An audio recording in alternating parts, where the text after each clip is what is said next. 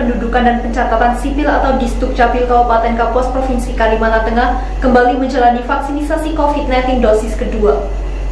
Kegiatan vaksinasi terhadap karyawan Dinas Kependudukan dan Pencatatan Sipil Kabupaten Kapuas berlangsung di kantor Dinas Dukcapil Kapuas Jalan Pemuda Kuala Kapuas yang dipimpin langsung oleh pelaksana tugas Kepala Dinas Dukcapil Kapuas Siti S. Bungai. Dalam vaksinasi dosis kedua ini, Dinas Dukcapil Kapuas masih bekerja sama dengan Puskesmas Anjir Serapan. Adapun jumlah pegawai Dinas Dukcapil Kapuas yang divaksin sebanyak 77 orang.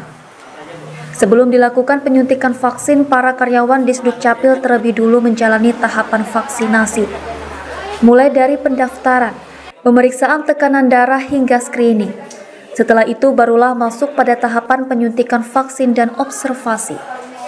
Salah satu pegawai Dinas Dukcapil Kapuas Edi Sucipto usai disuntik vaksin mengatakan dari vaksin dosis pertama hingga vaksin dosis kedua dirinya tidak merasakan keluhan apa pun. Edi Sucipto berharap dengan program vaksinasi ini dapat memutus mata penularan COVID-19. Alhamdulillah eh, tidak ada kendala, aman. Dari vaksin pertama, vaksin kedua tidak pernah ada masalah, tidak ada keluhan lah.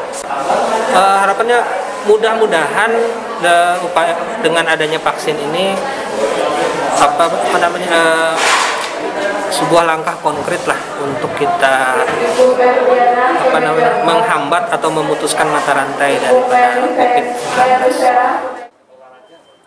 Sementara itu, pelaksana tugas Kepala Dinas Dukcapil Kapuas CPS Bungai mengatakan, Karyawan Dinas Dukcapil memang harus divaksinasi semuanya karena setiap harinya bertugas melayani masyarakat dalam pembuatan dokumen kependudukan. Dan untuk itu, Sipi mengimbau agar semua pegawai Dinas Dukcapil Kapos mengikuti vaksinasi COVID-19 tersebut, yang merupakan program pemerintah untuk mencegah penyebaran virus corona. Uh, himbauan kepada para pegawai di Capil, saya minta untuk semua karyawan harus melaksanakan vaksin kedua ini karena itu berkaitan dengan kesehatan kami karena tupoksi kami adalah melayani masyarakat langsung uh, melaksanakan kegiatan uh, tatap muka dengan masyarakat. Jadi kami minta uh, semua karyawan dinas kependudukan ini harus melaksanakan vaksin yang kedua ini supaya nanti kebal dari penyakit yang namanya corona.